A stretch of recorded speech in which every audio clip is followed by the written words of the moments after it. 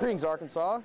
My name's Senior Airman Joshua Damsma, Northern Air, uh, Misawa Air Base, Northern Japan, land of the samurai. I'd like to say hello, first of all, to my father and Judy in Beebe, Arkansas, and all my other friends and family out there.